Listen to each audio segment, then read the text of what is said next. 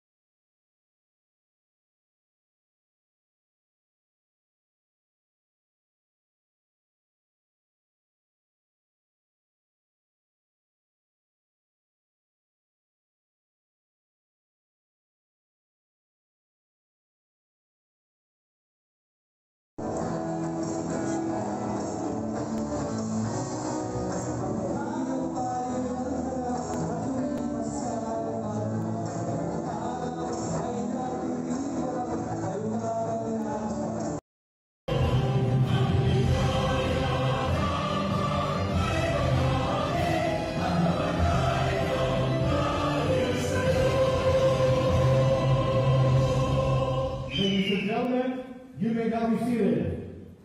Good morning. I'd like to welcome you to the Crown Legacy Hotel. This, of course, is the blessing and inauguration.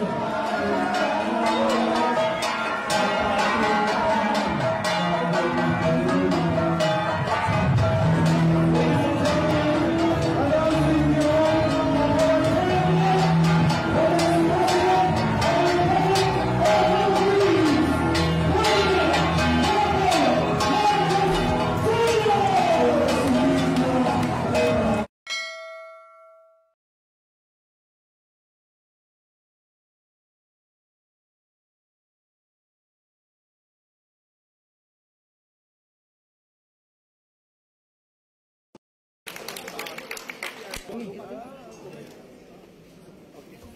you very much.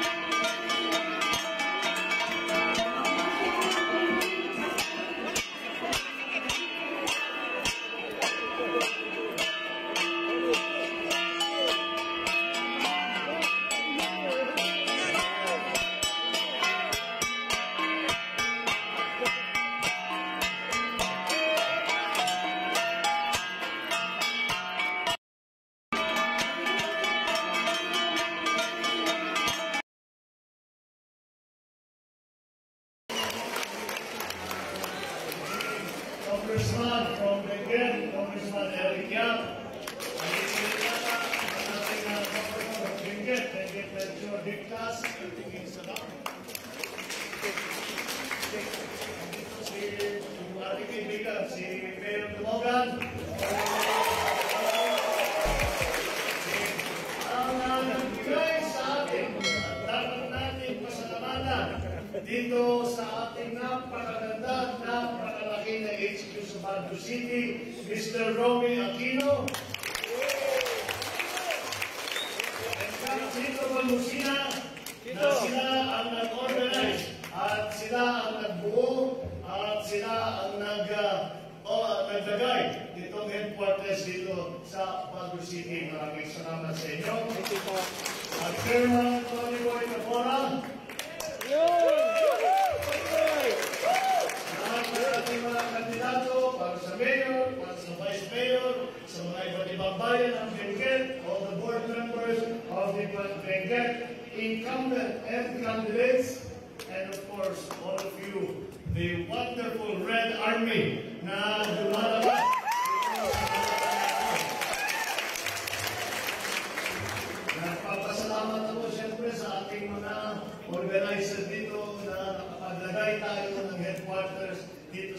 City. Hindi ko naman akalain na ganito. Ito pala yung function room ito ng mga hotel para kahit na ikakasal dito sa mga dito sa Manilay. Pero siguro, eh, kasama na rin siguro dyan yung aming partnership Day and Day Salad Duterte.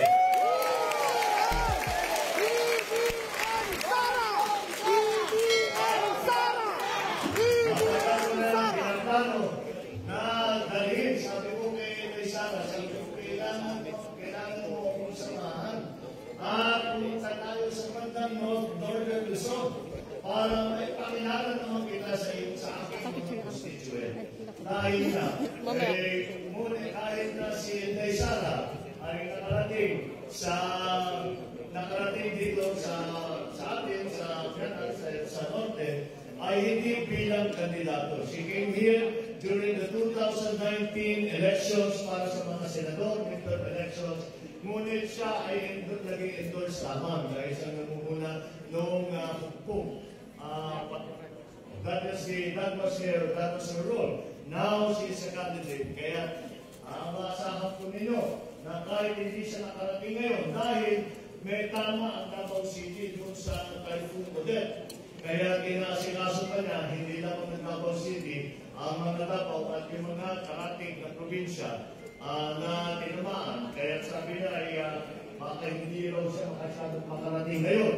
Ikaw po, basta ako na muna mag-represent sa iyo. At ipapangako ko sa ating mga kaibigan sa Baguio City na pagbalik namin dito, kasama ko na si Inday Sara.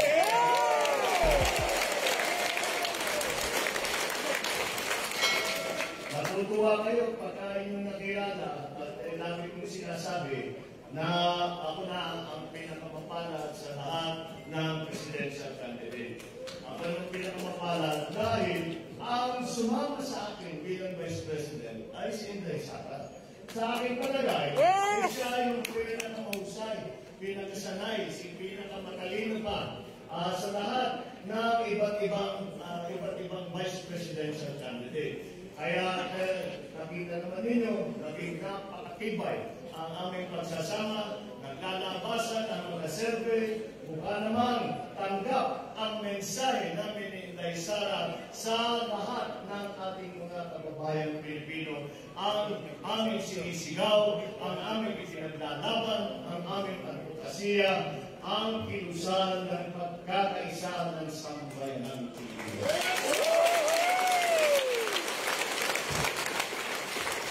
Kaya ang inyong pagpunta rito at pagpahayag ng inyong suporta sa amin ay hindi lamang suporta sa dalawang kandidato, hindi lamang para sa presidential candidate, para sa tambalan ng Marcos Duterte, kung hindi ang suporta ninyo sa ating hangarin, ang ating layunin na ipagbuklod-buklod natin ang banat ang, ang sambayan ng Pilipino para mas maharap natin lahat ng magiging problema na ngayon na hinaharap tayo, na hinaharap ng Pilipinas.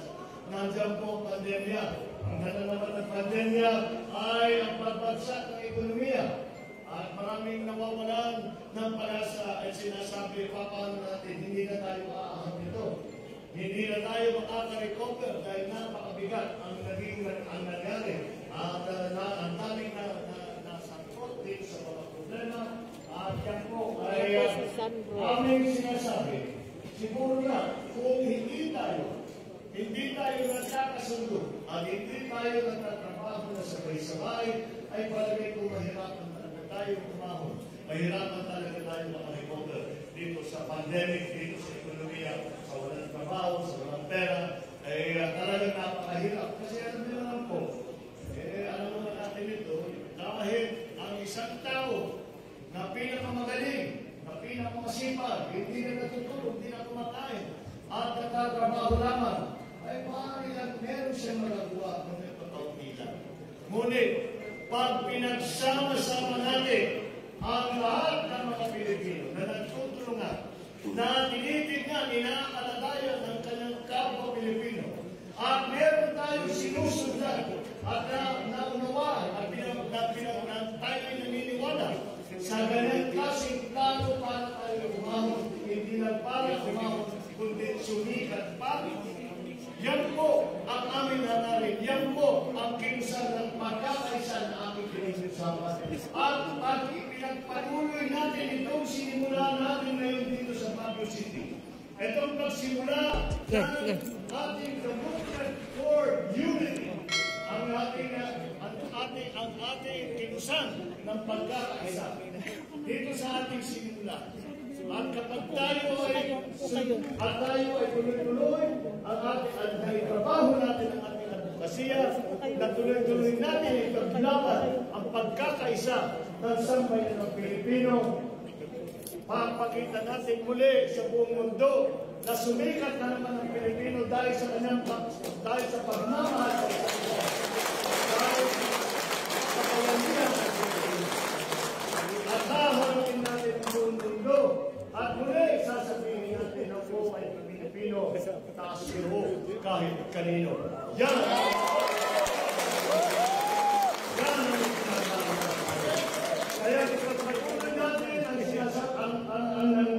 Sinasabi natin. Ngayong araw nito. Imarka ninyo sa inyong mga kalendaryo itong araw na ito dahil nito nagsimula ang ng pagkakaisa dito sa Baguio City. Kaya papatuloy natin tayo mga ang tagumpay na ay hindi tagumpay lamang sa darating na halalan. Ang pinag-uusapan kung tagumpay ang tagumpay na ating kilusan ng pagkakaisa at makikita natin ay nagsasama-sama ang ating mga kababayan na tutulungan at kapit-bisig ang bawat Pilipino para pagandahin ang buhay ng ating mga kapwa Pilipino na kahit papano mapalik sa trabaho, magkapera ulit sa bulsa, mapakain ang kanilang pamilya, mapag-aral ang kanilang anak.